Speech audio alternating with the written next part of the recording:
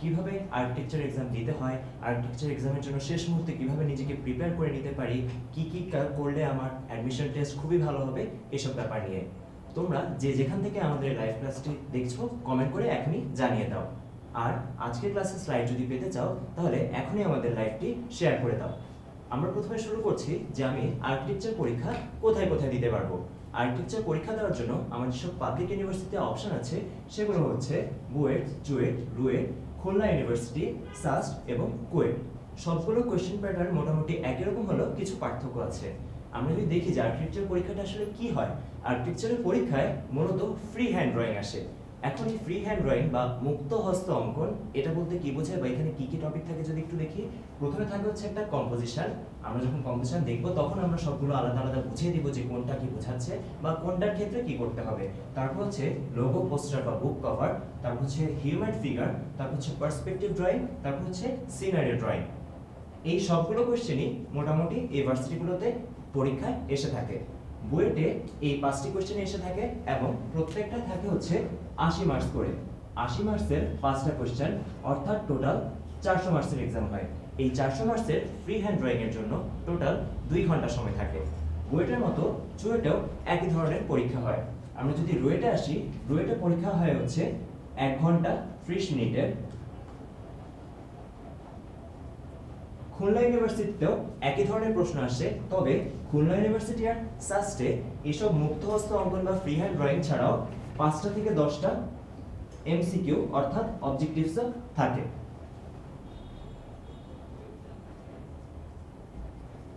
আর কুয়েটে architecture department থাকলেও এখানে কোনো আলাদা পরীক্ষা হয় না। ইঞ্জিনিয়ারিং যে ভর্তি পরীক্ষাটা হয়, সেটার সাথে একসাথে আর্কিটেকচার ডিপার্টমেন্টের জন্য হিসাব করা হয়। আচ্ছা আমাদের এখানে যে ইউনিভার্সিটিগুলোর কথা বললাম আর্কিটেকচার আছে। এখানে কিন্তু আমাদের একটা জিনিস খেয়াল রাখতে হবে। আমাকে যখন সিলেকশন করা হয়, তখন কিন্তু ইঞ্জিনিয়ারিং ভর্তি পরীক্ষাটাও কাউন্ট করা হয়। যেমন আমি যদি বইটার কথা বলি, বইটা আমরা জানি যে ছয়শো মার্কসের ইঞ্জিনিয়ারিং পরীক্ষা হয় এবং তার সাথে হচ্ছে চারশো মার্কসের আর্কিটেকচার যখন আমাকে ইঞ্জিনিয়ারিং এর জন্য মেরিট লিস্ট দেওয়া হবে, তখন শুধুমাত্র এই ছয়শো নাম্বারের উপর দেওয়া হবে। আর যখন আর্কিটেকচারের উপর মেরিট লিস্ট দেওয়া হবে, তখন শুধুমাত্র ছয়শো আর চারশো, এই দুটো মিলেই কিন্তু হিসাবটা করা হবে। তাহলে আমাদের এই ব্যাপারটা অবশ্যই খেয়াল রাখতে হবে যে আর্কিটেকচার পরীক্ষায় যদি আমি ভালো করতে চাই বা আর্কিটেকচার যদি চান্স পেতে চাই, তাহলে কিন্তু ফ্রি হ্যান্ড ড্রয়িং বা মুগ্ধ হস্ত অঙ্কনটা ইম্পর্টেন্ট না। সাথে যে ইঞ্জিনিয়ারিং এর প্রিপারেশন অর্থাৎ ফিজিক্স কেমিস্ট্রি ম্যাথ এগুলো কিন্তু ইম্পর্টেন্ট তাই আমরা যখন প্রস্তুতি নিব, অবশ্যই এবং যখন পরীক্ষা দিব দুটোর ক্ষেত্রে কিন্তু আমরা এই ইঞ্জিনিয়ারিং পার্টটা যাতে ভালো হয়, সেটা খেয়াল রাখব। তাহলে আমরা খেয়াল করি এবার যে আর্কিটেকচার এক্সাম দেওয়ার জন্য, অর্থাৎ ফ্রি হ্যান্ড ড্রয়িং বা মুক্তহস্ত অঙ্কনের জন্য আমার কী কী লাগবে? আমার লাগবে হচ্ছে সফট পেন্সিল সফট পেন্সিলস বলতে যেটা বোঝাচ্ছি two B pencil four B pencil six B pencil architecture এক্সামের জন্য বিভিন্ন শেডের বা টোনের পেন্সিল ইউজ করা খুবই ইম্পর্টেন্ট আমরা যখন আজকে বিভিন্ন টপিক দেখব, তখনই আমরা দেখব যে বিভিন্ন পেন্সিল ইউজ করার গুরুত্বটা কতটুকু। তারপর হার্ড পেন্সিল লাগবে, সেজন্য আমরা ব্যবহার করতে পারি যে কোনো HB pencil HB pencil hard pencil হিসেবে ব্যবহার করা হয় এবং এগুলো সাধারণত রেফারেন্স লাইন অর্থাৎ হালকা করে লাইন টানা বা রাফ করার জন্য আমরা ব্যবহার করে থাকি। এছাড়া যেটা ব্যবহার করতে হবে সেটা হচ্ছে অবশ্যই রাবার বা ইরেজার যেটা হচ্ছে নন ডাস্ট ইরেজার তার কারণ হচ্ছে আমার আঁকার সময় কিন্তু কয়েকবার মুছে মুছামুছি করা লাগতেই পারে।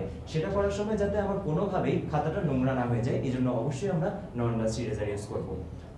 আচ্ছা এখন যদি আমরা একটু আসি যে এখানে আমি কিছু জিনিস লিখে রেখেছি নো দিয়ে, তার মানে এই জিনিসগুলো অবশ্যই ব্যবহার করা যাবে না। এগুলো যেরকম আমাদের পরীক্ষার সময় নিয়ে যাওয়া লাগবে, ঠিক একইভাবে এই জিনিসগুলো কিন্তু আমি একদমই নিতে পারব না। সেটা কি? স্কেল নিতে পারব না কম্পাস নিতে পারব না, তারপর সেট স্কোয়ার চাঁদা, এসব কিন্তু আমরা নিতে পারব না। একটু যদি খেয়াল করি, আমাদের পরীক্ষাটার নামই কিন্তু হচ্ছে মুক্ত হস্তাঙ্কন বা free hand drawing so free hand drawing এর ক্ষেত্রে আমরা কিন্তু এসব জিনিস ইউজ করতে পারব না। তাহলে আমরা শুরু করছি আজকের টপিকগুলো প্রথমে আমরা কথা বলব হচ্ছে কম্পোজিশন নিয়ে। আমরা যদি একটু দেখি আর্কিটেকচার কম্পোজিশনের এলিমেন্টগুলো কি কি? আর্কিটেকচার কম্পোজিশনের এলিমেন্ট দুই ধরনের থাকে। একটা হচ্ছে টু ডি কম্পোজিশন আর একটা হচ্ছে থ্রি ডি কম্পোজিশন তাহলে এই যে টু ডি এলিমেন্ট আর three D element basically composition আমার কি করতে হবে? আমার এদেরকে সাজানো লাগবে। আমরা যেরকম আমাদের ঘর সাজাই রুম সাজাই, ঠিক একইভাবে কম্পোজিশন হচ্ছে এক ধরনের সাজানো। কিন্তু এখানে এলিমেন্টগুলো ফিক্সড যেমন টু ডি এলিমেন্টসের মধ্যে আছে ডটস আছে লাইন আছে, তারপর ত্রিভুজ, তারপর হচ্ছে বৃত্ত, তারপর হচ্ছে স্কোয়ার এছাড়া আমাদের যে থ্রি ডি এলিমেন্ট সেখানে কি হচ্ছে? আরেকটা ডাইমেনশন চলে আসছে। অর্থাৎ টু ডি এলিমেন্টে দুইটা মাত্রা থাকে আর থ্রি ডি এলিমেন্টে তিনটা মাত্রা থাকে। সেটা কীরকম? আমরা যদি জানি কিউব। কিউব কিসের থেকে আসে? একটা স্কোয়ার থেকে আসে। একটা স্কোয়ারে যদি আরেকটা ডাইমেনশন অ্যাড করা হয়, তখন সেটা হয়ে যায় হচ্ছে একটা কিউব। তারপর সার্কেল থেকে আসে হচ্ছে আমাদের স্পিয়ার বা গোলক। তাহলে আমরা একটু দেখি যে আমাদের এই এলিমেন্টগুলো কম্পিটিশনে কি কি কাজে লাগে।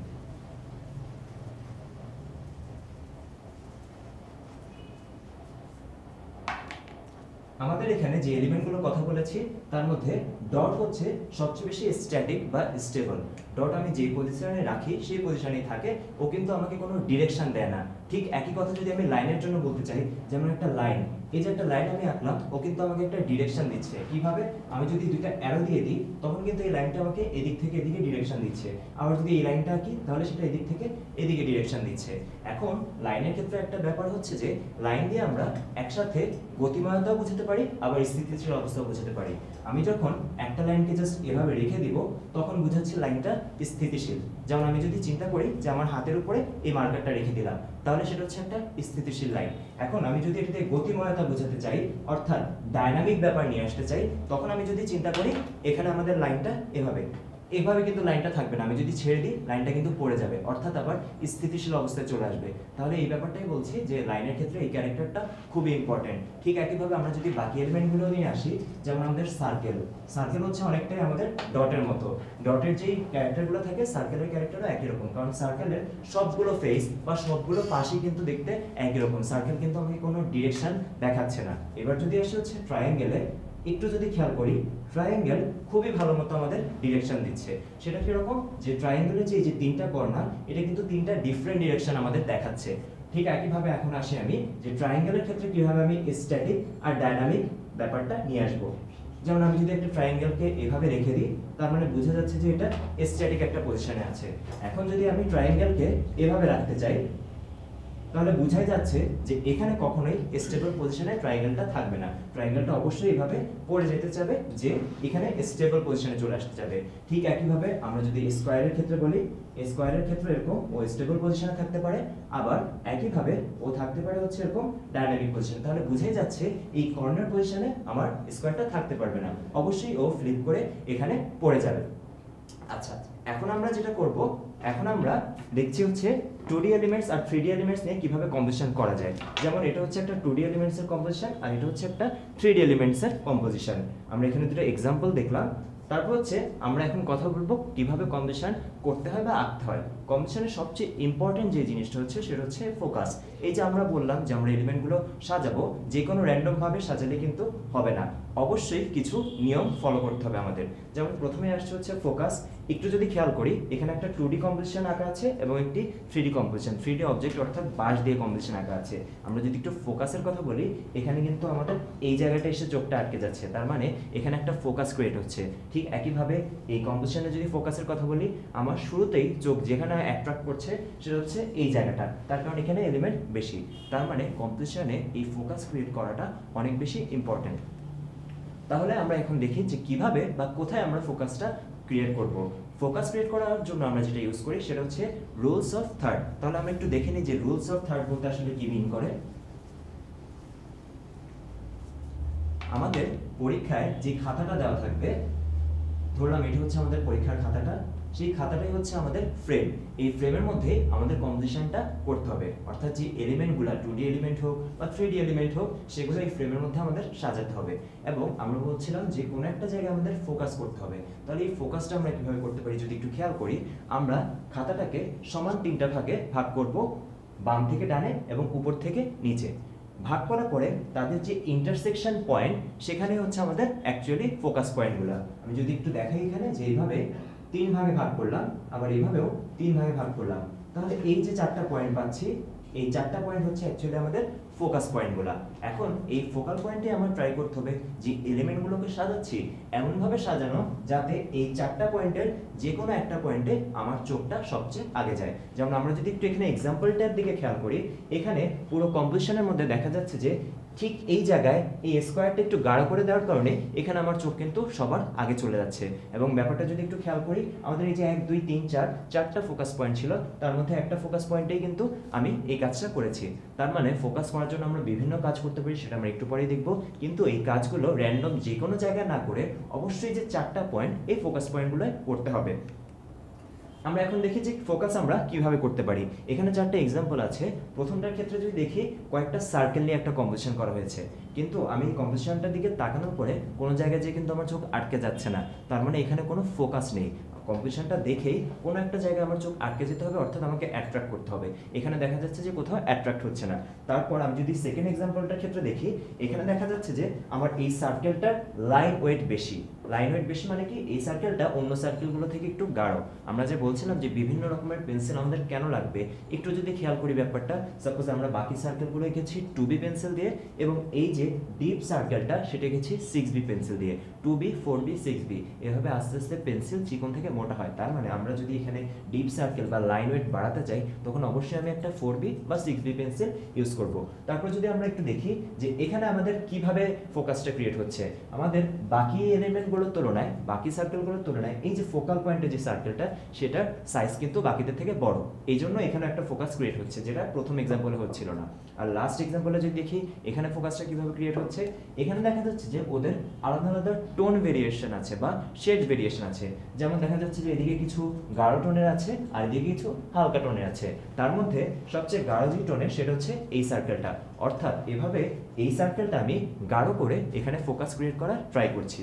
আমরা যদি এর পরে দেখি কম্পোজিশনে আর কি কি নিয়ম ফলো করতে হবে? ফোকাস করা ছাড়াও আর যেসব জিনিস আমাদের খেয়াল রাখতে হয়, তার মধ্যে একটি হচ্ছে ব্যালেন্স কম্পোজিশন করার সময় অবশ্যই ব্যালেন্স রাখতে হবে। ব্যালেন্সটা কীরকম? একটু যদি খেয়াল করি যে এখানে এই যে আমার ফ্রেমটা এটা যদি আমার ফ্রেম হয়, এই ফ্রেমে এদিকে অনেক বেশি এলিমেন্ট আর ওইদিকে শুধুমাত্র একটা এলিমেন্ট আমরা যদি এভাবে দুইটা ভাগে ভাগ করি, কোনা বরাবর, তখন দেখা যাচ্ছে যে এদিকে ওয়েটটা অনেক বেশি চলে আসছে। আর এদিকে যেহেতু কম এলিমেন্ট তাই এদিকে ওয়েটটা অনেক কম। এই জন্য ব্যালেন্স করার জন্য যেটা করতে হবে, আমরা যেটা করলাম, এই একই এক্সাম্পলে এখানে আরও কিছু এলিমেন্ট দিয়ে দিলাম। তাহলে এবার কি হবে? এবার কিন্তু লেফট সাইড আর রাইট সাইডে খুব ভালো একটা ব্যালেন্স হয়ে যাবে। তাহলে এই ব্যাপারটা আমাদের অবশ্যই খেয়াল রাখতে হবে এবং এই দুটো কম্পোজিশনে কিন্তু ব্যালেন্স একটা আছে আর একটা ব্যালেন্স নেই, কিন্তু ফোকাস কিন্তু দুটোতেই আছে। সেটা কীরকম একটু আগে আমরা দেখলাম যে রুলস অফ থার্ড অনুযায়ী আমরা যে পয়েন্ট আমি যদি একটু দেখাই, যেমন এক, দুই, তিন, চার, এরকম চারটা পয়েন্ট এখানে ফোকাস আসবে। আমি যদি সমান তিন ভাগে ভাগ করি এভাবে, আবার এভাবে তিন ভাগে ভাগ করি, তাহলে মোট চারটা পয়েন্টে আমার ফোকাস পয়েন্টগুলো আসবে এবং এখানে একটা ফোকাস পয়েন্টে আমি এই স্কোয়ারটা রেখেছি তারপর আমি যদি একটু দেখি রিদম আর অর্ডার আমরা যে এলিমেন্টগুলোকে সাজাচ্ছি, তাদের মধ্যে একটা কানেকশন থাকতে হবে, একটা রিদম থাকতে হবে এবং তারা প্রপার অর্ডারে থাকতে হবে। যেমন আমি যদি বলি, আমাদের রুম যখন অগোছালো থাকে, তখন কিন্তু সেটা প্রপার অর্ডারে থাকে না। কিন্তু আমার রুম যদি বা বেডটা যদি খুব সুন্দর মতো গোছানো থাকে, আমি বলতে পারি সেটা অর্ডারে আছে। তাহলে এখানে যদি একটু অর্ডার এক্সাম্পলটা আসি, এখানে দেখা যাচ্ছে যে প্রথম এক্সাম্পলটা নট ইন অর্ডার অর্থাৎ কি হচ্ছে এখানে? যে কিছু সার্কেল এইদিকে কিছু সার্কেল ওইদিকে আলাদা আলাদা আছে। একটা সুন্দরভাবে সাজানো ব্যাপারটা নেই। কিন্তু পরের এক্সাম্পলটা যদি দেখি, তাহলে এই সার্কেলগুলোর সাথে এই সার্কেলগুলোর একটা রিলেশন আছে, অর্থাৎ তারা একটা ভালো অর্ডারে আছে। এরপর যদি আমরা দেখি, তারপর দেখতে হবে এক্সিস এবং প্রোগ্রেশন এক্সেস কি আমরা যে জায়গায় কম্পোজিশন করছি, আমাদের যে ফ্রেমে কম্পোজিশন করছি, যখন এলিমেন্টগুলোকে সাজাবো, তখন একটা এক্সিস বরাবর সাজানো ট্রাই করব। সেটা কি রকম আমি ধরতে পারি এরকম একটা এক্সিসে সাজাবো বা আমি ধরতে পারি এরকম একটা এক্সিসে সাজাবো। এভাবে আমরা কম্পোজিশন করার ট্রাই করব। যেমন এখানে যদি দেখি, এটা একটা বেসিক্যালি ডটের কম্পোজিশন এখানে অনেকগুলো ডট আছে এবং ডটগুলোকে এরকম একটা এক্সিস বরাবর কিন্তু সাজানো হয়েছে। ঠিক একইভাবে প্রোগ্রেশনের সাথে এক্সিসের রিলেশন আছে। সেটা কি রকম যে আমরা যে এক্সিস বরাবর সাজাবো, সেই এক্সিসে এলিমেন্টগুলোর একটা প্রোগ্রেশন থাকতে হবে। মানে একটার পর একটা এলিমেন্টের একটা রিলেশন থাকতে হবে। তাহলে আমরা যদি একটু খেয়াল করি সাপোজ আমরা একটা কম্পোজিশন দেখি। এখানে আমরা চিন্তা করলাম যে আমরা এই এক্সিস বরাবর একটা সার্কেলের কম্পোজিশন করব সার্কেলগুলোকে সাজাবো। তাহলে আমি যেটা বলার চেষ্টা করছি, যে আমি এলিমেন্টগুলোকে অবশ্যই এভাবে এক্সিস বরাবর রাখব। এবং আমি যদি তাদের প্রোগ্রেশনের কথা বলি প্রোগ্রেশন বলতে তারা এরকম একটা এক্সিস ধরে সামনে এগিয়ে যাবে। এখন যদি একটু খেয়াল করি, আমার এই কম্পোজিশনে কিন্তু কোনো জায়গায় ফোকাস তৈরি হয়নি। তার কারণ কি? মোটামুটি সবগুলো এলিমেন্টই একই টাইপ সাইজের বা একই টাইপ লাইন ওয়েটের আলাদা কিছু কিন্তু এখানে করিনি আমি। এখানে যদি আমি একটু ফোকাস করতে চাই, তাহলে আমি যেটা করতে পারি, এই যে আমাদের নিচের যে সার্কেলটা সেটাকে একটু ডিপ করে দিলাম। এক্সামের সময় আমরা যেটা করব বাকি এলিমেন্টগুলো টু বি পেন্সিল ইউজ করে আঁকলে যে এলিমেন্টে আমি ফোকাস করতে চাই বা লাইন ওয়েট বাড়াতে চাই, সেটা ফোর বি বা সিক্স পেন্সিল ইউজ করে আঁকবো। এবং অবশ্যই একটা ব্যাপার খেয়াল রাখতে হবে, আমি যখন কম্পিটিশন শুরুতে আঁকছি, আঁকার সময় শুরুতে আমি সফট পেন্সিল অর্থাৎ টু বি ফোর বি বা সিক্স বি ব্যবহার করব না। শুরুতে আমি ব্যবহার করব হার্ড পেন্সিল অর্থাৎ এইচ বি যেটা কিনা খুবই হালকা হয়। এই হালকা পেন্সিলটা দিয়ে আগে আমি হালকা চিন্তা করে নেব। সাপোজ আমি এখানে একটা সার্কেল দিতে চাই আমি এটা দিয়ে হালকা করে চিন্তা করে নিলাম যে এখানে একটা সার্কেল হবে। তাহলে এরপর যখন আমি কনফার্ম হয়ে যাব যে হ্যাঁ আমি সার্কেলটা এখানেই দিতে চাই, তখন আমি সেটাকে টু বি ফোর বি বা সিক্স বি দিয়ে ফাইনালি গাঢ় করে দিতে পারব। আচ্ছা এরপরে আছে হচ্ছে আমাদের ইন্টারলকিং ইন্টারলকিং হচ্ছে ফোকাস তৈরি করার একটা মেথড আমি যে বিভিন্ন পয়েন্টে ফোকাস তৈরি করতে চাই, বিভিন্নভাবে ফোকাস তৈরি করা যায়। সবসময় এমন না যে আমার এখানে লাইনটা বাড়ানো লাগবে বা শেপটা আমার বড় করা লাগবে। এভাবে ছাড়াও অন্যভাবে ফোকাস তৈরি করা যায়। সেটা কীরকম? আমরা যদি একটু আসি, আমরা বলছি ইন্টারলকিং ইন্টারলকিং মানে আমাদের যে এলিমেন্ট বা অবজেক্টগুলো থাকবে, তাদের মধ্যে ইন্টারলক করা মানে একটার সাথে আরেকটা কানেক্ট করা। এখানে যদি আমরা একটু দেখি, একটা স্কোয়ারের সাথে একটা সার্কেল কানেক্ট করেছি। ঠিক একইভাবে নিচের এক্সাম্পল একটা স্কোয়ারের সাথে একটা সার্কেল তারপর হচ্ছে যে স্কোয়ারের সাথে স্কোয়ার এখন একটু আমরা দেখব ইন্টারলকিং কোনটা ভালো মানে কোনটা করা যাবে, আর কোনটা ভালো না, বা কোনটা করা যাবে না। যেমন আমরা যদি একটু খেয়াল করি শুরুর যে ইন্টারলকিং একটা স্কোয়ার আর একটা সার্কেলের এটাকে আমরা বলছি উইক ইন্টারলকিং তার কারণ কি? এখানে যে স্কোয়ার আর এখানে যে সার্কেল তাদের মধ্যে ইন্টারলকিং এর যে পোর্শনটা সেটা খুবই কম। আর যদি একটু খেয়াল করি, এখানে আমাদের ইন্টারলকিংটা বেশ ভালো হচ্ছে। যেমন এখানকার আমাদের যে স্কোয়ার আর যে সার্কেল তাদের মধ্যে কিন্তু বিশাল একটা পোর্শন জুড়ে ইন্টারলকিংটা হয়েছে। তারপর যদি একটু দেখি, যেখানে দুটো স্কোয়ারের মধ্যে ইন্টারলকিংটা করেছি, এবং এই ইন্টারলকিংটা কিন্তু যথেষ্ট উইক তার কারণ এখানে বেশি বড় একটা অংশ জুড়ে ইন্টারলকিংটা হয়নি। কিন্তু পরেরটায় যদি দেখি, বেশ ভালো একটা অংশ জুড়ে আমার ইন্টারলকিংটা হয়েছে। এটা নির্দিষ্ট কোনো নিয়ম নেই, তবে ইন্টারলকিং করার সময় আমরা যেটা করতে পারি, যে ইন্টারলকিং এর পোর্শন যাতে মোটামুটি ফর্টি সিক্সটি পার্সেন্ট হয় মানে রেশিওটা আমি যদি চিন্তা করি, এটা হচ্ছে আমার দশ ভাগে ভাগ করব, তার মানে ইন্টারলকিং এর ক্ষেত্রে অবশ্যই একটু যদি দেখাই, যে এটা হচ্ছে একটা স্কোয়ার তার সাথে যদি আরেকটা স্কোয়ার ইন্টারলক করতে চাই, আমি এ ধরনের কোনো জায়গা থেকে শুরু করব না। অবশ্যই এটাকে যদি ফিফটি পার্সেন্ট চিন্তা করি, অর্ধেক, অর্ধেকের বেশি একটা জায়গা থেকে ইন্টারলক করব। তাহলে দেখো, এখানে খুব ভালো মতো একটা ইন্টারলকিং স্পেস তৈরি হচ্ছে। তারপর এখানে দেখা যাচ্ছে যে আবারও দুটো স্কোয়ারের মধ্যে ইন্টারলকিং হচ্ছে। এটা দেখা যাচ্ছে যে খুবই উইক একটা ইন্টারলকিং আর পরে ইন্টারলকিংটা বেশ ভালো একটা ইন্টারলকিং তারপর যদি আমরা আসি, এখানে ইন্টারলকিং এর কিছু এক্সাম্পল আছে। যেমন দেখা যাচ্ছে যে, এখানে ওরা ঠিকমতো ইন্টারলক করেনি। দুটো স্কোয়ার তারা তাদের যে কোনা সেটা বরাবর ইন্টারলক করতে চাচ্ছে, কিন্তু পারছে না। তারপর যদি একটু দেখি, এখানেও খুবই কম পোর্শন জুড়ে। আমরা যে একটু আগে বললাম ফর্টি সিক্সটি পার্সেন্ট একটা রেশিও মেনটেন করা, এই জিনিসটাও কিন্তু মেনটেন হয়নি। কিন্তু এই ইন্টারলকিংগুলো যদি দেখি, এখানে খুবই ভালো মতো ইন্টারলকিং হয়েছে। প্রথমে এটা তো হয়েছে এবং এটা হয়েছে। একটু যদি বলি, এই দুই ক্ষেত্রে কিন্তু আমরা ফোকাসটা মেনটেন করেছি। সেটা কীরকম? রুলস অফ থার্ড অনুযায়ী এটা হচ্ছে একটা ফোকাল পয়েন্ট এখানে আমার কম্পোজিশন এলিমেন্টগুলো আছে। ঠিক একইভাবে রুলস অফ থার্ড অনুযায়ী এখানে হচ্ছে আমার কম্পোজিশনের এলিমেন্টগুলো আছে। তাই ফোকাস দুটোর ক্ষেত্রে হলো আমার যে ইন্টারলকিংটা সেটা কিন্তু প্রপারলি হয়নি। তারপর যদি আমি একটু দেখি এখানে সিমমেট্রি আর অ্যাসিমমেট্রির ব্যাপারটা কীরকম? এখানে যদি একটু খেয়াল করি, আমি যদি আমার এই পুরো কম্পোজিশনের প্লেনটাকে দুটো ভাগে ভাগ করি উপরের কোণার দিকে একটা, নিচের কোনার দিকে একটা, তাহলে দেখা যাচ্ছে যে তাদের মধ্যে একটা সিমেট্রি আছে এবং একই সাথে তারা কিন্তু একটা ব্যালেন্সড ওয়েতে আছে। সেটা কীরকম যে দুই পাশেই কিন্তু মোটামুটি সমান এলিমেন্ট আছে, তাই ব্যালেন্সটা ভালো মতো থাকছে। আমরা যদি চিন্তা করি যে এই আঙুলের উপর আমি এটাকে রাখব, তখন কিন্তু সে ঠিক মতো রাখতে চাবে না যদি আমি এভাবে রাখি। আমার কি করতে হবে? মাঝখানে কোনো একটা জায়গায় রাখতে হবে যাতে তাদের মধ্যে ব্যালেন্সটা মেনটেন হয়। ঠিক একইভাবে যদি একটা অ্যাসিমেট্রি এক্সাম্পল দেখি, এখানে যেটা দেখা যাচ্ছে যে আমি যদি এক্সিস বরাবর ভাগ করে দিই, যেমন এই যে এই এক্সিস থেকে এই এক্সিসে যদি ভাগ করি, তখন দেখা যাচ্ছে যে দুই পাশে যে এলিমেন্টগুলো তারা সমান পরিমাণে নেই। তার মানে যেটা দেখা যাচ্ছে যে এই ক্ষেত্রে যেই ব্যালেন্সটা ছিল সিমেট্রিটা ছিল, এখানে কিন্তু সেই সিমেট্রিটা নেই। কম্পোজিশনের ক্ষেত্রে ম্যাক্সিমাম ক্ষেত্রে আমরা যেটা প্রিফার করি, সেটা হচ্ছে যে আমরা চাই যে অ্যাসিমেট্রি আনতে। কম্পোজিশন আমি যত বেশি অ্যাসিমেট্রি আনব, আমার কম্পোজিশনটা তত বেশি ইন্টারেস্টিং হবে বা তত বেশি ডাইনামিক হবে। তারপর আমরা আসি হচ্ছে কম্পোজিশনের আরেকটা এলিমেন্ট যেটা হচ্ছে সলিড ভয়েড আমার কাছে যেই ফ্রেমটা দেওয়া থাকবে, সেই ফ্রেমের কতটুকু কীভাবে ইউজ করব আমি, সেটাই হচ্ছে আসলে সলিড ভয়েড আমরা একটা জিনিস খেয়াল রাখব, একটু যদি চিন্তা করি আমার রুমে হাঁটার কোনো জায়গা নেই, সবগুলোই হচ্ছে আমার ফার্নিচার দিয়ে ভরা, সেখানে হাঁটার জায়গা খুবই কম, তাহলে কিন্তু সেটা ভালো একটা রুম গোছানো বা সাজানো হবে না। এই জন্য কতটুকু জায়গায় আমি ফার্নিচার রাখছি, সেই জায়গাটা হচ্ছে সলিড আর কতটুকু জায়গা ফাঁকা রেখে দিয়েছি, সেটা হচ্ছে ভয়েড তো এই সলিড আর ভয়েড যে স্পেস তার মধ্যে একটা রিলেশন থাকতে হবে, বা তাদের মধ্যে যে পরিমাণটা, সেটার মধ্যে একটা সম্পর্ক থাকতে হবে। যেমন আমরা যদি প্রথমে এক্সাম্পলটা দেখি, এখানে কিন্তু ব্যালেন্সটা নেই। খুবই র্যান্ডমলি আমার সলিড ভয়েড আছে, কিন্তু এই ক্ষেত্রে দেখা যাচ্ছে সলিডের পরিমাণটা একটু বেশি। আর পরের এক্সাম্পলটা যদি একটু খেয়াল করি, এখানে সলিড আর ভয়েডের মধ্যে একটা ব্যালেন্স কিন্তু খুব ভালোভাবে মেনটেন হচ্ছে। তাহলে কম্পোজিশনে আমরা এই কাজটা কীভাবে করব? আমরা যেটা করব, খাতায় কম্পোজিশন আঁকার আগে আমরা চিন্তা করে নিব যে আমি কতটুকু জায়গায় এলিমেন্টগুলোকে রাখতে চাই আর কোন জায়গায় এলিমেন্টগুলোকে রাখতে চাই না। সাপোজ আমি চিন্তা করে নিলাম যে এখানে খাতায় আমার এক, দুই, তিন। এই তিনটে স্পেসে আমি ভয়েড রাখব। অর্থাৎ এই তিনটে স্পেস আমি ফাঁকা রাখব। আমার যে এলিমেন্টগুলো দেওয়া হচ্ছে, হতে পারে সেটা সাতটা সার্কেল সাতটা স্কোয়ার আমি সেই এলিমেন্টগুলোকে অবশ্যই সাজানোর ট্রাই করব হচ্ছে বাকি স্পেসটা বরাবর। তাহলে কম্পোজিশন করার সময় এটা তোমাদের জন্য একটা টিপস হিসেবে থাকল যে যখনই আমরা কম্পোজিশন করব, এই সলিড ভয়েড ব্যাপারটা অবশ্যই মেনটেন করতে হবে। এমন যাতে না হয় যে এলিমেন্টগুলো সাজাতে যে আমার অনেক বেশি এলিমেন্ট চলে এসেছে। তাহলে একটু খেয়াল করব, দুটো জিনিস বলব এখানে।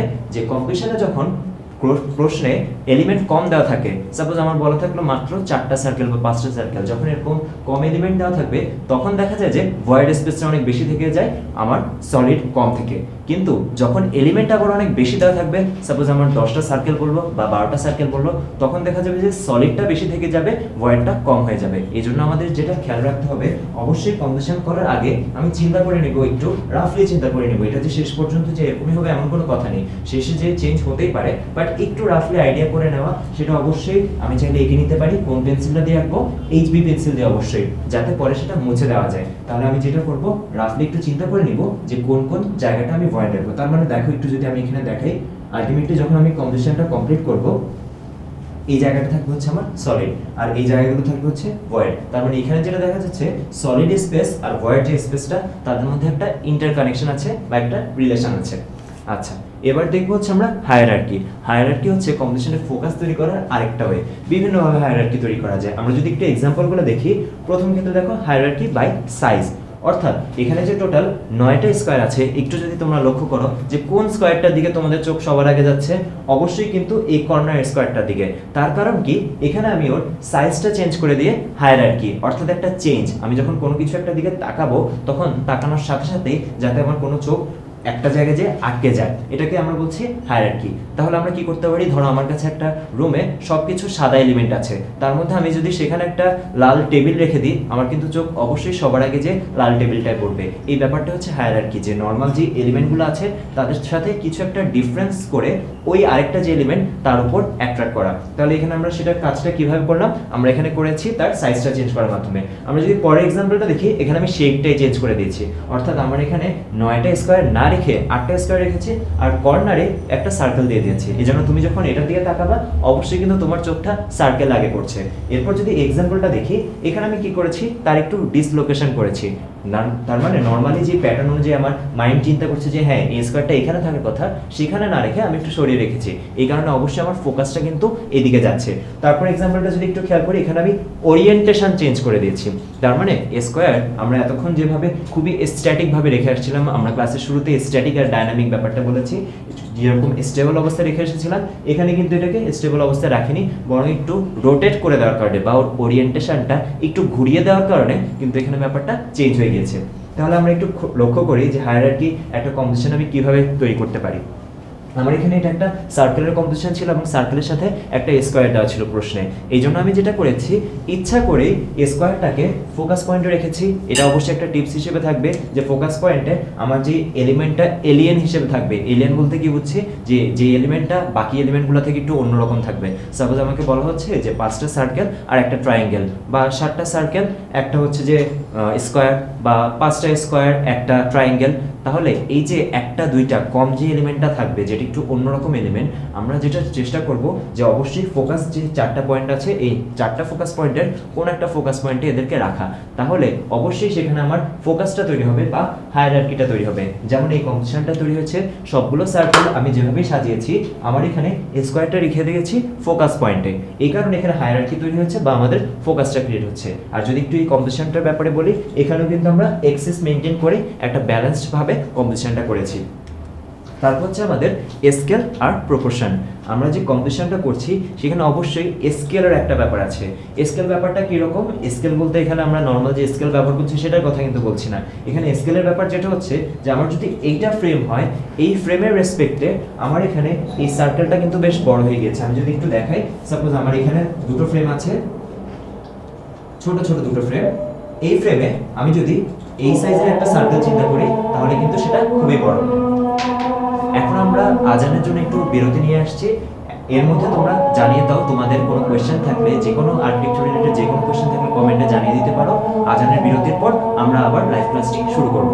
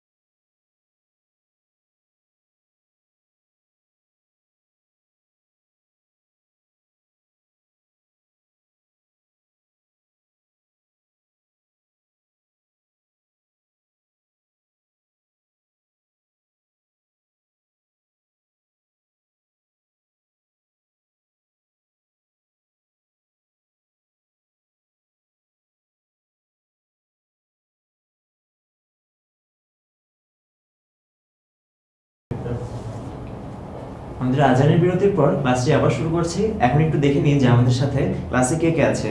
আমাদের সাথে আছে এখানে নীলাঞ্জনা মেধা, তারপর আছে জামিল, যাত্রাবাড়ি থেকে, তারপর নীলাঞ্জনা মেধা আছে ময়মনসিং থেকে, তারপর এখানে হারুন বিন হাবিব আছে নোয়াখালী থেকে। আমি একটু কথা বলে রাখতে চাই যে আজকের আমাদের ক্লাসটা কিন্তু খুবই ইম্পর্টেন্ট এখানে আমাদের স্লাইডে অনেক দরকারি জিনিসপত্র আছে কিন্তু।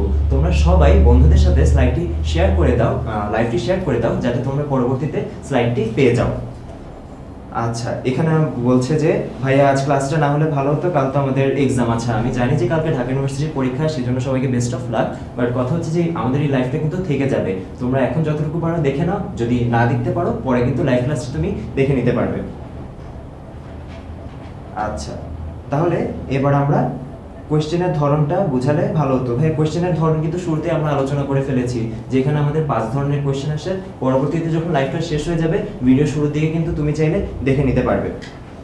আচ্ছা আমরা আবার চলে যাই হচ্ছে আমাদের ক্লাসে এখানে আমরা বলছিলাম স্কেল নিয়ে কথাবার্তা। আমি যেটা দেখাচ্ছিলাম যে আমি যদি এরকম একটা ফ্রেমে এত বড় একটা সার্কেল আঁকি, তাহলে কিন্তু এটা স্কেলটা মেনটেন হচ্ছে না। আর যদি এই ফ্রেমে এই ধরনের একটা সার্কেল রাখি, তাহলে কিন্তু এখানে খুব ভালো মতো আমার স্কেলটা মেনটেন হচ্ছে। তাহলে একটু এই ব্যাপারটা খেয়াল রাখতে হবে। যেমন আমি যদি বলি যে সাপোজ আমার কাছে এরকম একটা সার্কেল আছে। এই সার্কেলটাকে আমি যদি চিন্তা করি, এই ফ্রেমে তাহলে এই ফ্রেমের রেসপেক্টে কিন্তু এই সার্কেলটা খুবই বড়।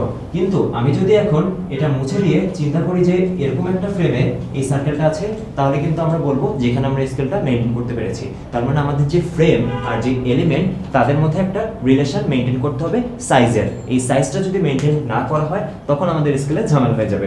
তাহলে আমরা বলছি যে এখানে একটা ভালো মতো স্কেল মেনটেন হচ্ছে এই এক্সাম্পলটায় কারণ কি এই ফ্রেমের সাপেক্ষে আমার এই সার্কেলের যে সাইজটা সেটা ঠিক আছে, কিন্তু এটা বেশ বড় হয়ে গেছে।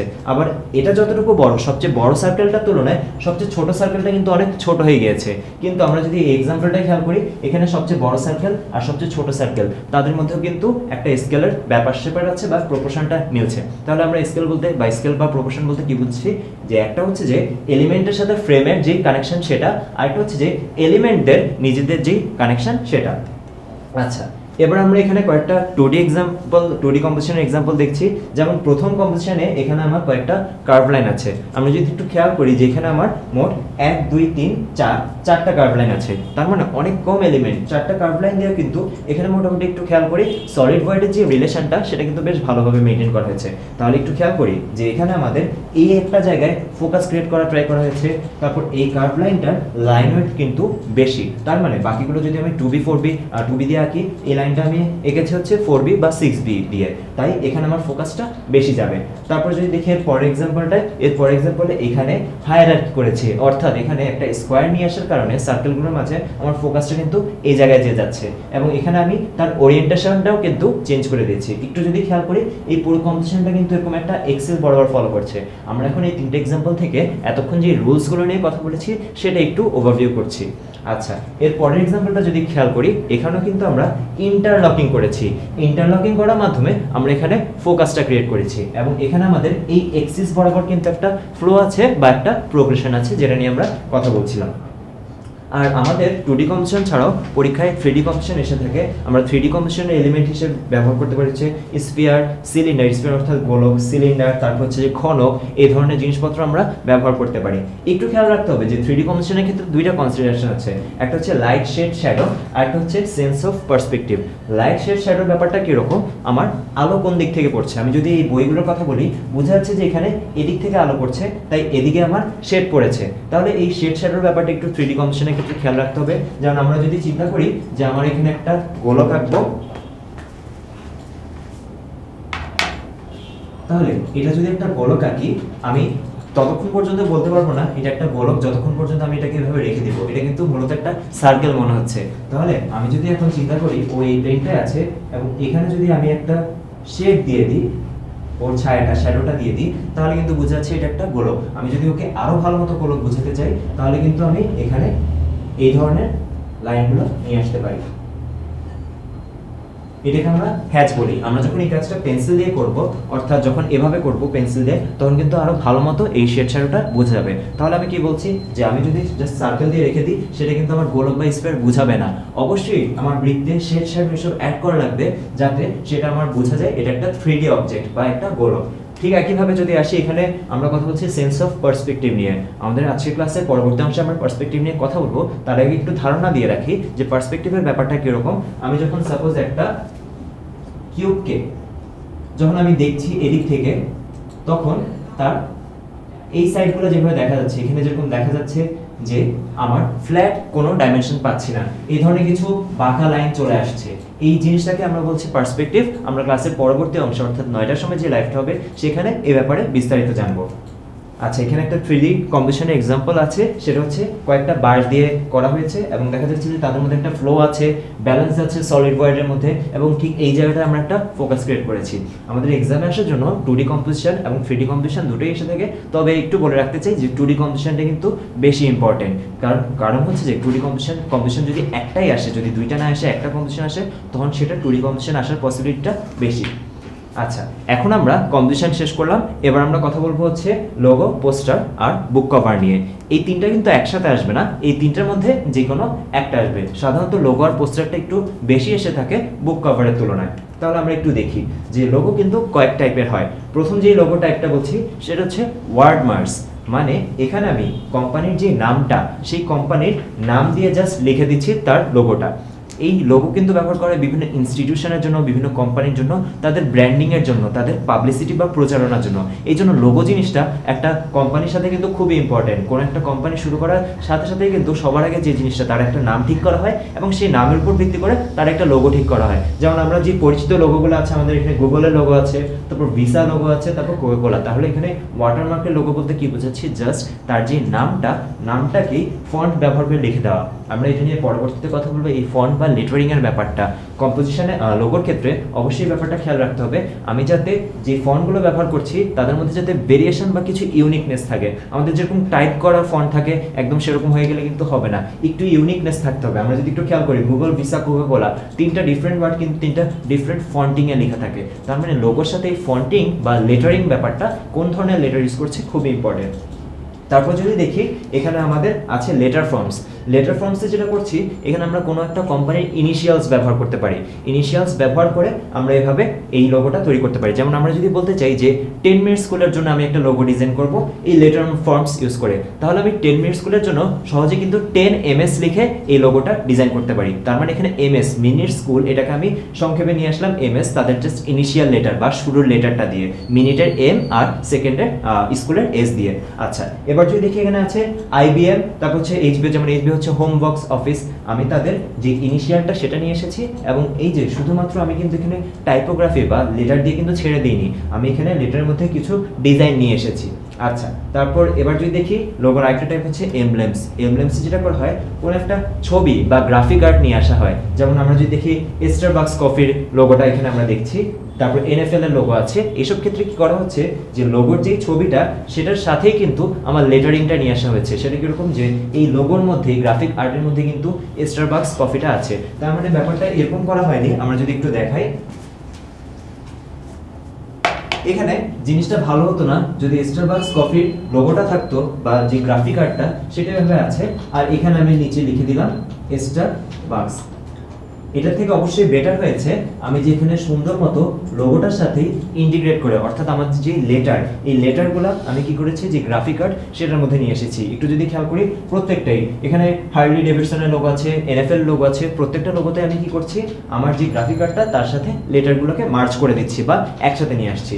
তারপরে এখানে যদি দেখি কিছু পিক্টোরিয়াল মার্কস খুবই পরিচিত লোগো আমাদের, যেমন এটা হচ্ছে আমাদের অ্যাপেলের লোগো পিক্টোরিয়াল মার্কসে কি করছি, আমি শুধুমাত্র একটা গ্রাফিক আর্ট দিয়ে, তার মানে এখানে অ্যাপেলের লোগোতে কিন্তু আমি অ্যাপেল লিখে দিইনি বা এখানে টুইটারের লোগোতে আমি কিন্তু টুইটার লিখে দিইনি। জাস্ট আমি কি করছি?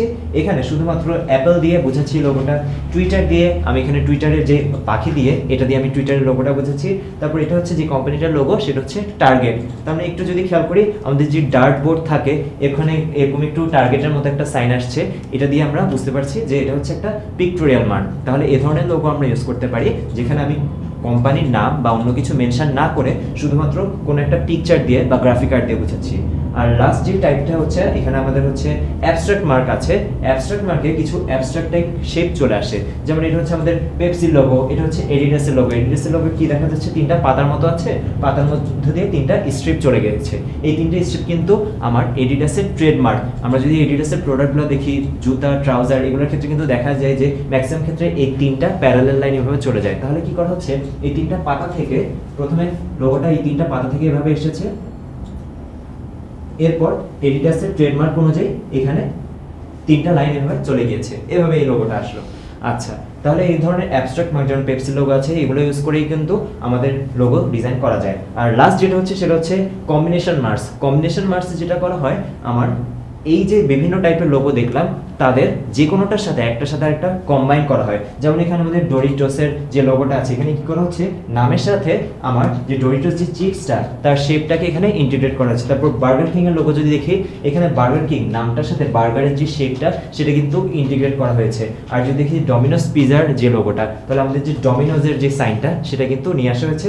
আর এই ধরনের স্কোয়ার দিয়ে পিজা যে বক্সে ডেলিভার করা হয় বা সার্ভ করা হয় সেটা শেপটা ওরা আনতে চেয়েছে। আচ্ছা। তাহলে আমরা এখানে কিছু ফেমাস লোগো দেখছি যেমন এটা হচ্ছে আমাদের বিটসের লোগো লোগো ডিজাইন করার ক্ষেত্রে অবশ্যই একটা কনসেপ্ট থাকতে হবে। কনসেপ্টটা কীরকম? যেমন বিটসের লোগো বিটসের যে হেডফোনটা সেখান থেকে এই লোগোর কনসেপ্টটা এসেছে অনেকটা হেডফোনের মতো দেখতে। তারপর অ্যামাজন আমরা জানি যে অ্যামাজন ওয়ার্ল্ড ওয়াইড বিভিন্ন প্রোডাক্ট ডেলিভারি করে থাকে। তাহলে এখানে কি হচ্ছে? এ থেকে জেড অর্থাৎ অ্যামাজনের এ আর জেড এ থেকে জেডের দিকে একটা অ্যারো সাইন চলে গিয়েছে। তার মানে পৃথিবীর এক প্রান্ত থেকে আরেক প্রান্ত সবখানে ওরা প্রোডাক্ট ডেলিভারি করে। আর এই যে সাইনটা এটা এসেছে একটা স্মাইলিং ফেসের মতো। আমরা যদি একটু চিন্তা করি এখানে এটা যদি একটা মানুষ হয়, আর এটা যদি হয় তার মুখটা, তাহলে একটা স্মাইলিং ফেসের মতো হচ্ছে, যেটা কিনা আমাদের অ্যামাজনের লোগোতে আছে, যে তারা হাসি মুখে পৃথিবীর এক প্রান্ত থেকে আরেক প্রান্তে প্রোডাক্ট ডেলিভারি করে থাকে। আচ্ছা তারপর এটা হচ্ছে এডিডাসের আরেকটা লোগো এখানে এডিডাসের এই লোগোর যে কনসেপ্টটা হচ্ছে, সেটা হচ্ছে যে, এখানে আমরা যদি একটু খেয়াল করি, একটা মাউন্টেনের মতো বা একটা পাহাড়ের মতো, প্রথম ব্যাপারটা একটা পাহাড়ের মতো ছিল, এই পাহাড় থেকে এটা চলে আসলে একটা স্ট্রেট লাইন তারপর এখানে যেটা করা হচ্ছে, যেটা বলছিলাম যে এডিডাসের যে ট্রেডমার্ক তিনটে স্ট্রিপ এই তিনটে স্ট্রিপ অনুযায়ী এভাবে কিন্তু আমার লোগোটা ডিজাইন করা হয়ে গিয়েছে। তাহলে এটা হচ্ছে আমাদের এডিডাসের লোগো আর আরেকটা যদি দেখি সেটা হচ্ছে আমাদের ফর্মুলা ওয়ানের লোগো একটু খেয়াল করি, এখানে খুবই স্মার্ট একটা কাজ করা হয়েছে। ফর্মুলা ওয়ানে আমাদের এখানে এফও আছে, আর এফ এর সাথে এদিকে যে ওয়েভটা আছে, তার মাঝখানে কিন্তু ওয়ানটা আছে। আমরা যদি একটু ভালো মতো খেয়াল করা ট্রাই করি, তাহলে কিন্তু আমরা ফর্মুলার এফটাও দেখব। আবার এদের মাঝখানে যে ওয়ানটা এই যে আমি যদি একটু দেখাই এভাবে ওয়ানটা আছে, এই ওয়ানটাও আমি দেখতে পারব। আচ্ছা এখন আমরা আরও কিছু এক্সাম্পল দেখছি। যেমন আমি যদি একটু বলি যে এটা লাইট এই লাইট ওয়ার্ডটাকে আমি লোগো দিয়ে রিপ্রেজেন্ট করতে চাই, কোনো কোম্পানি না জাস্ট লাইটকে আমি রিপ্রেজেন্ট করতে চাই হচ্ছে একটা লোগো দিয়ে। তাহলে কি করলাম? এখানে আমি লাইট লিখলাম এবং লাইটের যে আই আছে একটু খেয়াল করো, বাকি জায়গাটা ডার্ক মনে হচ্ছে, আর এখানে এটা একটা আলো এসে পড়ছে এরকম মনে হচ্ছে লাইট আলো। তার সাথে আমি একটা রিলেশন করার ট্রাই করলাম। অর্থাৎ আমি এখানে যেটা করছি, আমার যে লেটারিংটা বা যে লেটার টাইপগুলা ফন্টগুলা ওই ফন্টের সাথে আমি এখানে আমার যে কনসেপ্ট লাইটের যে কনসেপ্ট সেটাকে নিয়ে আসার ট্রাই করছি। তারপর যদি একটু খেয়াল করো ফোকাস এই ওয়ার্ডটার জন্য যদি একটা লোগো ডিজাইন করতে চাই একটু খেয়াল করো, ওইদিকে আমার এখানে এফটা খুবই ভালো মতো ফোকাসের মধ্যে আছে, আর ওইদিকে যে বাকি সেটা কিন্তু ঝাপসা হয়ে গিয়েছে বা ব্লার হয়ে গিয়েছে।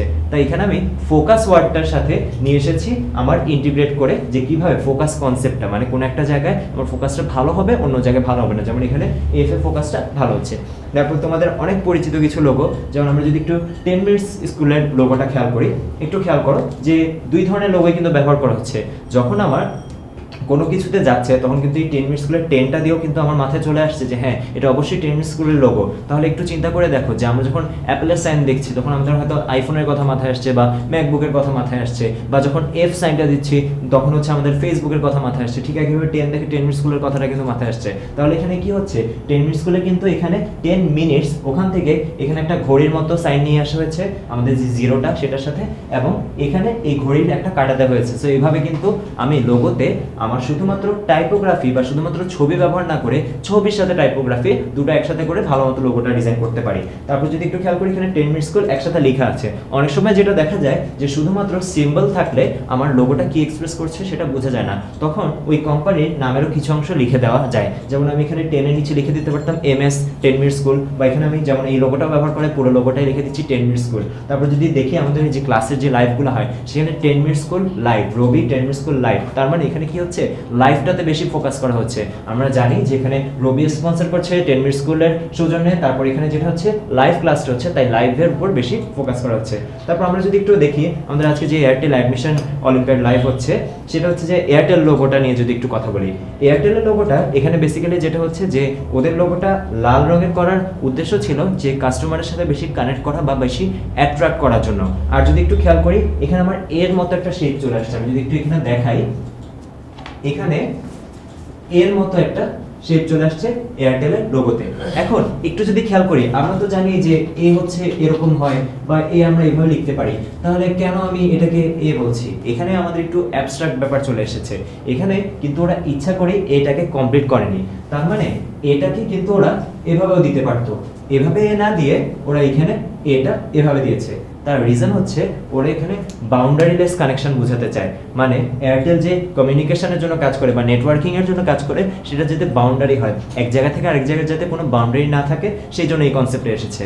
আর আরেকটা ব্যাপার একটু বলি, এখানে কেন আমি শুধু সিম্বলটা দিলাম না? শুধু সিম্বল না দিয়ে আমি কেন নিচে এয়ারটেল নামটাও লিখে দিলাম? তার রিজন হচ্ছে, একটু যদি খেয়াল করো, এই জিনিসটা অনেকটা আমার স্মল ডি এর মতো বা আমি যদি চিন্তা করি ক্যাপিটাল ডি এর সাথেও কিন্তু এই জিনিসটা রিলেট করা যায়। অনেক সময় শুধুমাত্র স্মল এর সাথে রিলেট না করে হালকা ডি এর মতো মনে হতে পারে। তো সেই ক্ষেত্রে আমি যদি এই লোগোর নিচে আলাদা করে লিখে দিই এয়ারটেল তাহলে আমাদের যে কনসেপ্ট লোগোর সেটাও এক্সপ্রেস করা হয়ে যাবে।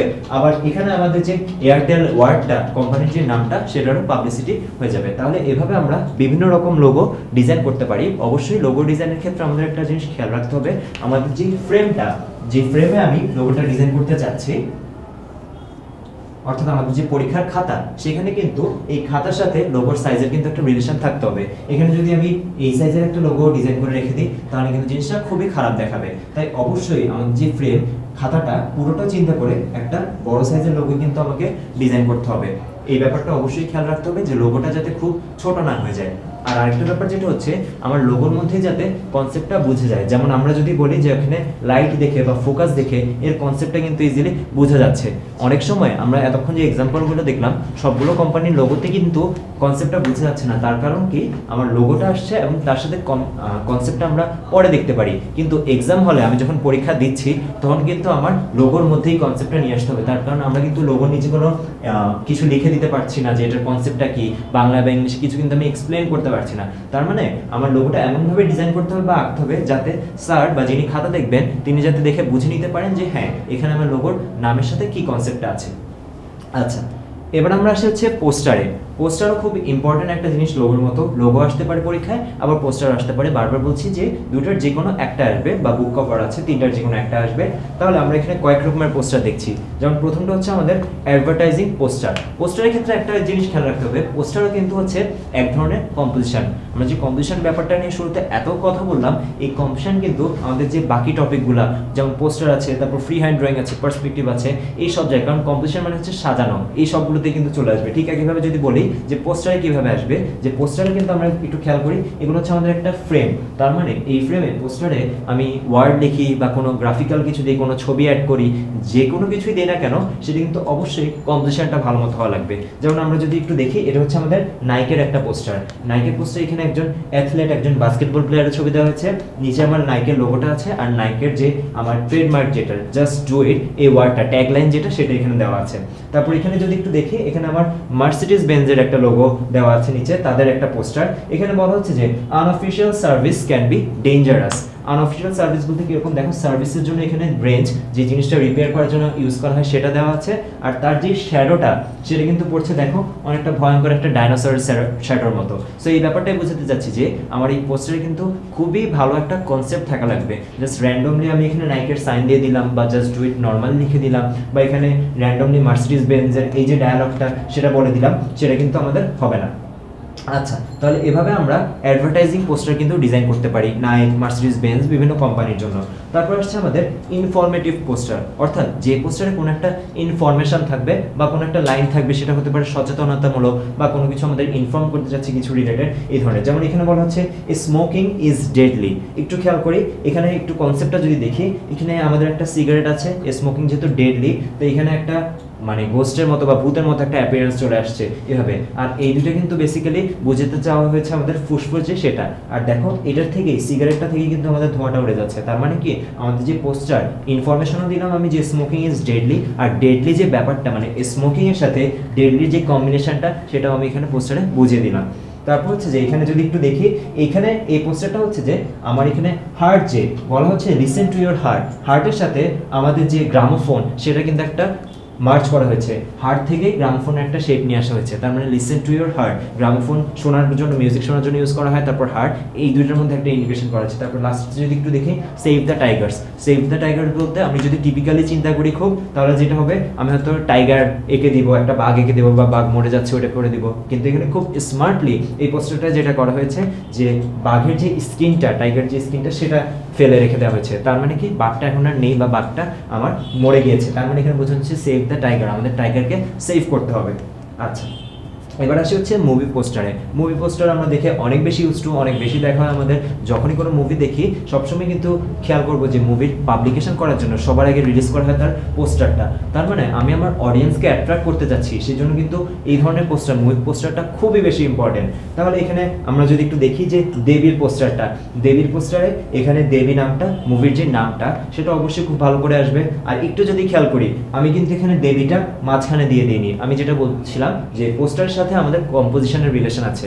এই জন্য যেটা করা হচ্ছে, এখানে আমি যদি একটু খেয়াল করি, মোটামুটি নিচের দিকে ফোকাল পয়েন্টে যেখানে আমার ফোকাস হয়, এই ফোকাসের আশেপাশে আমার এই জায়গায় দেবী এই ওয়ার্ডটা রাখা হয়েছে। তার কারণ হচ্ছে মুভির নামটা বেশি ইম্পর্টেন্ট আমার যাতে ফোকাসটা ঠিক মতো হয়। তারপর হচ্ছে যে এখানে সাথে অবশ্যই মুভি পোস্টারে কে কে অভিনয় করছে বা কে পরিচালনা করছে, এই জিনিসগুলো দিয়ে দেওয়া লাগে। আর নামটা যে, যেমন দেবীর সাথে, এখানে কিন্তু দেবী বা প্রতিমার যে ফেসটা ওরকম একটা অ্যাপিয়ারেন্স নিয়ে আসার চেষ্টা করা হয়েছে।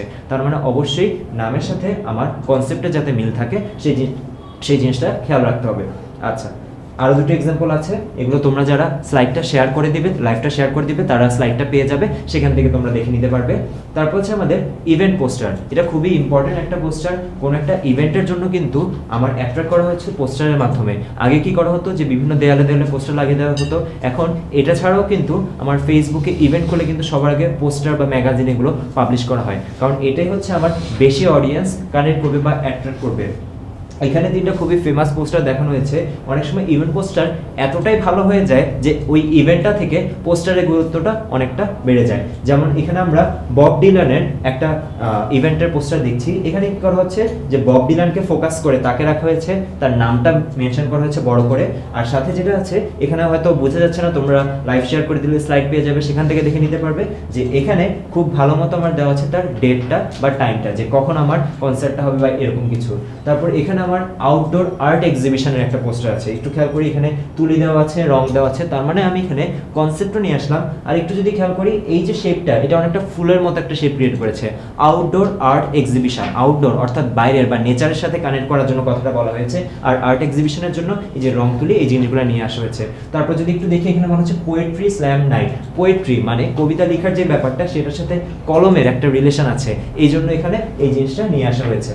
আচ্ছা এরপর আমরা দেখছি পরের পোস্টারটা এটা হচ্ছে প্রোপাগান্ডা পোস্টার প্রোপাগান্ডা পোস্টারে কোন একটা প্রোপাগান্ডা থাকতে হয় আমাদের, সেটা কীরকম? এই পোস্টারগুলো অনেকটাই পলিটিক্যাল হয়ে থাকে, কোনো একটা উদ্দেশ্য। যেমন এখানে যদি আমি বলি অ্যানিহিলেট দিস ডিমন্স এই ধরনের ইয়েস উই ক্যান ডু এই ধরনের একটা স্লোগান জাতীয় কিছু থাকে প্রোপাগান্ডা পোস্টারে আর তার সাথে হচ্ছে যে, আমার যে প্রোপাগান্ডাটাকে ফোকাস করা হয়, সেই প্রোপাগান্ডার ফোকাসটা থাকে। আচ্ছা এরপর হচ্ছে যে আমরা এখানে কিছু পোস্টারের এক্সাম্পল দেখব। পোস্টারের এক্সাম্পল এখানে কি বলা হচ্ছে? ম্যাকবেথ একটা উইলিয়াম শেক্সপিয়ারের যে ম্যাকবেথ সেটার একটা নাট্য প্রদর্শনী হবে সেটা একটা পোস্টার একটু যদি খেয়াল করি, এখানে আমাদের একটা ডেটটা দেওয়া আছে ডেট দেওয়া আছে কখন হবে, কোথায় হবে, এই জিনিসগুলো। আমি যেটা বলছিলাম যে ফোকাসের ব্যাপারটা, এখানে কিন্তু ডেটটা মাঝখানে লিখে দেওয়া হয়নি। ডেটটা একটু যদি খেয়াল করি, এই তিন ভাগে যদি ভাগ করি, তাহলে একটা ফোকাস পয়েন্টে কিন্তু আমার ডেটটা পড়ছে। তারপর যদি একটু খেয়াল করি ইনস্টলিং এক্সটিংশন এক্সটিংশন অর্থাৎ বিলুপ্তি, অর্থাৎ পৃথিবী বিলুপ্ত হয়ে যাবে। এখানে যদি একটু খেয়াল করি, এই পাশে আছে কিছু গাছ আর এই পাশে আছে কিছু আমার কলকারখানা বা ইন্ডাস্ট্রি তার মানে কি হচ্ছে? গাছ কেটে ইন্ডাস্ট্রি করার কারণে আমার কিন্তু এই গাছ বা পরিবেশে বা পৃথিবীর বিলুপ্তি ঘটতে পারে, এরকম একটা কনসেপ্ট এখানে নিয়ে আসা হয়েছে। তারপর এটা যদি একটু খেয়াল করি, এখানে বলা হচ্ছে harassment on women stop here এখানে যদি একটু খেয়াল করি স্টপটাকে টি আর ওকে লেটারের সাথে আমার এখানে একটা সাইন মার্চ করা হয়েছে। আমার উইমেন বোঝানোর জন্য যে সাইনটা ব্যবহার করা হয়, সেটা এখানে নিয়ে আসা হয়েছে স্টপের টি আর ওর সাথে। তাহলে এই সাইন থেকে আসলো, এই সাইনকে যদি এভাবে লিখি, তাহলে এটা আসলো এরকম। এবং এটাকে এস পি তার মানে এই সাইনটা দিয়ে টি আর ও এভাবে বোঝানো হচ্ছে। তাহলে এটা গেল আরেকটা পোস্টার যেটাকে আমরা এক্সাম্পল হিসেবে দেখলাম। আর আরও কিছু এক্সাম্পল যদি দেখি, এখানে দেখো একটা শর্ট ফিল্ম ফেস্টিভ্যাল আমাদের যে ফিল্মের রিলটা থাকে, সেটা নিয়ে আসা হয়েছে। তারপর যে ফিল্ম শুটিং ক্যামেরাটা থাকে, সেটা নিয়ে আসা হয়েছে। আর ঠিক এই জায়গায়, আবারও হচ্ছে ফোকাস পয়েন্টে মাঝখানে বা অন্য কোনো জায়গায় না ফোকাস পয়েন্টে আমরা সবসময় ট্রাই করব এই ধরনের পোস্টারের ডেট টাইম প্লেস মানে যে জায়গায় সবার আগে চোখ যাওয়াটা জরুরি, যে কখন হবে, কই হবে, সেটা।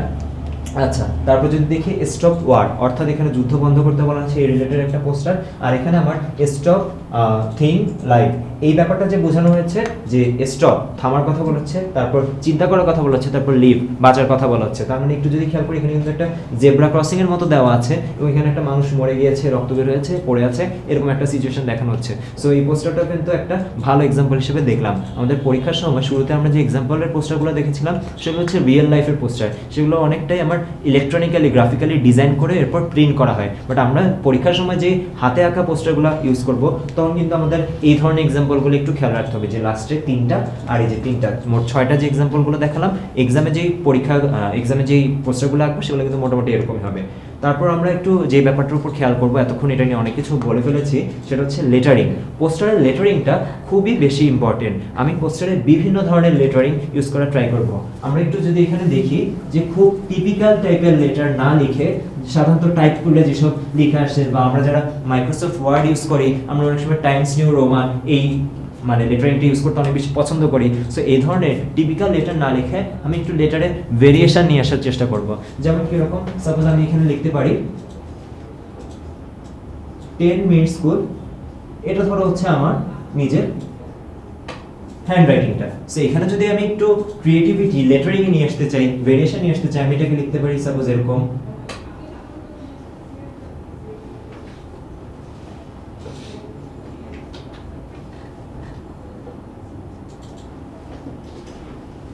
একটু খেয়াল করো, আমি কিন্তু এখানে লেটারিংটা নর্মাল আমাদের যে হ্যান্ড এর লেটারিং সেটা না এসে একটু ডিফারেন্ট টাইপের লেটারিং নিয়ে আসার ট্রাই করেছি। তারপর যদি লিখছে স্কুল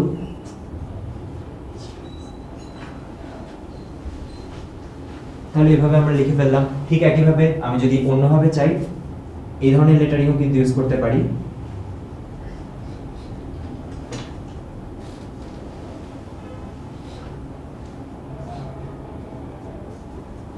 তাহলে একটু খেয়াল করো, আমাদের পোস্টার বা লোগো বা বুক কভার ডিজাইন করার সময় অবশ্যই লেটারিং এর ব্যাপারটা খেয়াল রাখতে হবে। ডিফারেন্ট টাইপের লেটারিং ইউজ করে একটা ভেরিয়েশনে আসতে হবে। তবে একটা জিনিস অবশ্যই খেয়াল রাখতে হবে, এই ডিফারেন্স আনতে আমি যাতে একই পোস্টারে দুই, তিন, চার রকমের লেটারিং নাই নিয়ে আসি। আমি ম্যাক্সিমাম দুই ধরনের লেটারিং ইউজ করতেই পারি। ধরো একটা দিয়ে আমি ইভেন্টের নামটা বললাম আর ডেট আর প্লেস বোঝানোর জন্য আরেক ধরনের লেটারিং ইউজ করলাম। তবে লেটারিংটা এটাও খেয়াল রাখতে হবে, আমি যাতে বেশি চেঞ্জ করতে যাই বা বেশি ভেরিয়েশন আনতে যে যাতে এমন না হয়ে যে যে লেটারিংটা কি মিন করতে যাচ্ছি? মানে আমার ইভেন্টের নামটা বা প্লেসের নামটা বোঝাই না যাচ্ছে। তার মানে অবশ্যই ফার্স্ট প্রায়োরিটি হবে যে বোঝা যাওয়া লাগবে। আর এই বোঝা যাওয়ার মধ্যেই যাতে আমার ভেরিয়েশনটা সুন্দর হয়, সেটা খেয়াল রাখতে হবে। তার মানে এই ভেরিয়েশন খুব বেশি আনব না, কমের মধ্যে মিনিমালিস্টিকের মধ্যে যতটুকু ভালো করা যায় সেটাই। আচ্ছা এখানে কিছু লেটারিং এর এক্সাম্পল আছে। যেমন এক একটা লেটারিং এখানে এক একটা ওয়ার্ড মিন করছে। যেমন এখানে বলা হচ্ছে যে ink and water don't mix একটু যদি খেয়াল করি, যে ইঙ্ক দিয়ে প্রথমে কথাটা লেখা হয়েছে এরকম মনে হচ্ছে, এরপর তার উপর যদি পানি পড়ে যায়, তাহলে দেখো ইঙ্কটা একটু ছড়িয়ে গিয়েছে। এই ধরনের একটা কনসেপ্ট চলে আসছে এখানে। তাহলে ink ink and water don't mix তারপর এখানে দেখো এটা ফ্লো বোঝানো হচ্ছে। ফ্লো কি করা হচ্ছে? ফ্লোর যে ব্যাপারটা, আমরা যদি বলি ফ্লো চিন্তা করলে আমাদের ওয়েভের ব্যাপারটা চলে আসে। এই ফ্লোর মধ্যে বা ওয়েভের ব্যাপারটার মধ্যে আমার এফ এল ও ডাব্লিউ এই লেটারগুলোকে মার্চ করা হয়েছে। তার মানে আমরা যেটা বলছি, যেমন এই ওয়ার্ডটা এইটা যদি একটু দেখি এই জিনিসটা, এটাও লেটারিং এর এক্সাম্পলটা ইম্পর্টেন্ট সেটা হচ্ছে টক টু মাই হ্যান্ড তার মানে কি করা হচ্ছে এখানে? টক টু মাই হ্যান্ডে আমার এখানে একটা হাতের সাইন দিয়ে দেওয়া হচ্ছে এবং হাতের সাইনের মধ্যে লেটারগুলোকে মার্চ করে লেখা হয়েছে টক টু মাই হ্যান্ড এভাবে বাকি এক্সাম্পলগুলো আছে, এখানে এটা চিল লেখা হচ্ছে। একটু যদি খেয়াল করি, এখানে আমাদের একটা স্কোয়ার শেপ থেকে এর মধ্যেই কিন্তু chill C H I L L এই জিনিসটাকে মার্চ করে নিয়ে আসা হয়েছে। আচ্ছা এখানে আমরা কিছু দেখতে পাচ্ছি সত্যজিৎ রায়ের কিছু লেটারিং যেমন এখানে হচ্ছে সিনেমার কথা, তারপর হচ্ছে আমাদের হালুম্বা আছে, যেখানে একটা বাঘের মুখ দিয়ে মানে যেটা করা হচ্ছে, আমাদের যে ছবি, এই ছবির সাথে লেটারিং সেটাকে মার্চ করা হচ্ছে। আমরা যদি একটু এই এক্সাম্পলগুলো দেখি, এগুলো কিন্তু আমাদের খুবই ভালো ভালো এক্সাম্পল বাংলা লেটারিং এর জন্য। কারণ পোস্টার যে সবসময় আমার ইংলিশে কিছু লিখতে হবে এরকম না। ধরো আমার অমর একুশে বইমেলার একটা পোস্টার আসলো, সেখানে কিন্তু অবশ্যই আমরা ইংলিশ লেটারিং ব্যবহার করব না, বাংলা লেটারিং ব্যবহার করব। বাংলা লেটারিং এর ব্যাপার যদি একটু বলি, এক্ষেত্রেও আমি বিভিন্ন টাইপের লেটারিং ইউজ করতে পারি। যেমন আমি একটু গোল ধরনের লেটারিং যদি ইউজ করি।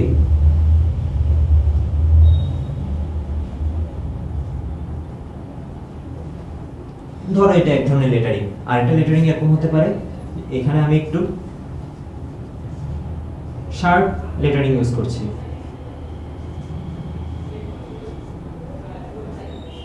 তাহলে এভাবে কিন্তু বাংলা লেটারে আমরা ভেরিয়েশন আনতে পারি। পয়লা বৈশাখের কোনো একটা অনুষ্ঠান হবে বা ধরো আমার পয়লা ফাল্গুনের অনুষ্ঠান হবে বা এই যে আমাদের যে বাংলায় যে উৎসবগুলো, এই ধরনের উৎসব রিলেটেড পোস্টার আসলে অবশ্যই আমাদের বাংলা লেটার বা বাংলা ফন্ট ইউজ করতে হবে এবং এর মধ্যেও আমরা ভেরিয়েশন নিয়ে আসার চেষ্টা করব।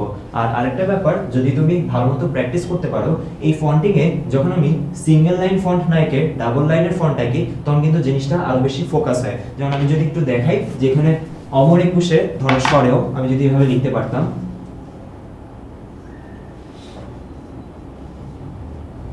তাহলে একটু খেয়াল করো, এই জিনিসটার থেকে এটা কিন্তু অনেক বেশি ফোকাস হচ্ছে বা আমার এই জিনিসটার দিকে চোখ অনেক বেশি সহজে পড়বে বা অনেক বেশি অ্যাট্রাক্ট করবে। তারপর আমি আরও কিছু কাজ করতে পারি। এই যে আমাদের যে লেটারটা লিখলাম, যেহেতু এটা একটা থ্রি ডি লেটারের মতো, তাই আমরা যদি এর নিচে একটু শ্যাডো দিয়ে দিই তাহলে কিন্তু এখন দেখো, মনে হচ্ছে যে এই লেটারটা বোর্ডের উপর থেকে উঠে আছে। এই ধরনের কিছু ইফেক্ট তৈরি করতে পারি। সো এই জিনিসগুলো আমি যত বেশি ভেরিয়েশন আনতে পারব, যত বেশি ক্রিয়েটিভিটি দেখাতে পারব, এই লোগো পোস্টার ডিজাইনের ক্ষেত্রে লেটারিংয়ের ক্ষেত্রে, তত বেশি কিন্তু আমার মার্কস পাওয়ার সম্ভাবনাটা বেড়ে যাবে। আচ্ছা লাস্টে আমরা বুক কভারের কিছু এক্সাম্পল দেখছি। বুক কভারে যেটা হয়, যে বইয়ের নামটা অবশ্যই থাকতে হবে, আর বইয়ের নামের সাথে আমার যে কনসেপ্টটা যেমন এখানে দেখো, একটা বাচ্চাদের বইয়ের বুক কভার এক্সাম্পল দেওয়া আছে, নীলুর হাতি। একটু যদি খেয়াল করো, আমার পিছনে বড় করে হাতিটা দেওয়া আছে, আর এখানে কিন্তু নীলু, একটা ছোট মেয়ে বোঝাচ্ছে, তার ও সামনে দাঁড়িয়ে আছে, আর পিছনে হচ্ছে এটা ওর হাতিটা। খুবই সুন্দর একটা পোস্টার তারপর এখানে যদি একটু দেখি, গোয়েন্দা গল্প, তাহলে কি করা হচ্ছে? গোয়েন্দা গল্প, বইয়ের নাম তো অবশ্যই থাকবে। আর একটা জিনিস একটু বলে রাখি, যে এখানে যেহেতু এগুলো কোনো এস্টাবলিশড রাইটারের বই না বা এই ধরনের বই যেহেতু কোয়েশ্চেনে যদি না পড়া থাকে, তাই সেক্ষেত্রে আমরা রাইটারের নাম লিখতে পারছি না। তুমি যদি কোনো পরিচিত বইয়ের নাম যদি আসে, বইয়ের যদি বুক কভার যদি ডিজাইন করতে বলা হয়, তুমি যদি সেটা রাইটারের নাম জানো বা প্রশ্নে যদি রাইটারের নাম বলা থাকে, তখন কিন্তু সেটাও লিখে দিতে হবে। তাহলে আমরা বলছিলাম এখানে গোয়েন্দা গল্প, একটু খেয়াল করো। ডিটেকটিভ গোয়েন্দা, যে ক্যাট তার হাতে একটা পিস্তল আছে, এই ধরনের জিনিস বোঝানো হচ্ছে। তারপর যদি একটু খেয়াল করি, একাত্তরের চিঠি। একটু খেয়াল করো, এখানে একাত্তর সময় যে মুক্তিযুদ্ধ হয়েছিল, সেটার কনসেপ্ট বোঝা যাচ্ছে। যে আমাদের এখানে যেটা হচ্ছে যে, এই যে মুক্তিযোদ্ধা, তার হাতে একটা রাইফেল আছে, তার বোঝা যাচ্ছে উনি একজন মুক্তিযোদ্ধা এবং তার বুক পকেটে খেয়াল করো একটা চিঠি আছে। সো এটার সাথে কিন্তু আমার এই কনসেপ্টটা চলে এসেছে, একাত্তরের চিঠি, এই ব্যাপারটা। আমরা একটু দেখে নিই যে আমাদের এখানে কোনো প্রশ্ন আছে নাকি?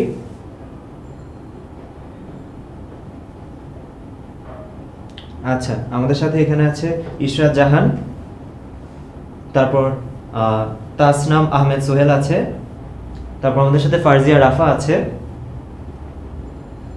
আচ্ছা আমাদের ক্লাসের এই প্রথম অংশে আমরা যেটা দেখলাম যে কীভাবে কম্পোজিশন আর লোগো পোস্টার বুক কভার এগুলো ডিজাইন করতে হয়। আমাদের ক্লাসের পরবর্তী অংশে বাকি যে টপিকগুলো অর্থাৎ হিউম্যান ফিগার তারপর পার্সপেক্টিভ ড্রয়িং সিনারি ড্রয়িং এগুলো নিয়ে আমরা কথা বলব। তোমরা এখনই এই লাইভ ক্লাসটি শেয়ার করে দাও সবার সাথে, যাতে তোমরা স্লাইডগুলো পেয়ে যাও। আর ক্লাসের পরবর্তী অংশে ঠিক নয়টার সময় দেখা হচ্ছে পরবর্তী টপিকগুলো নিয়ে।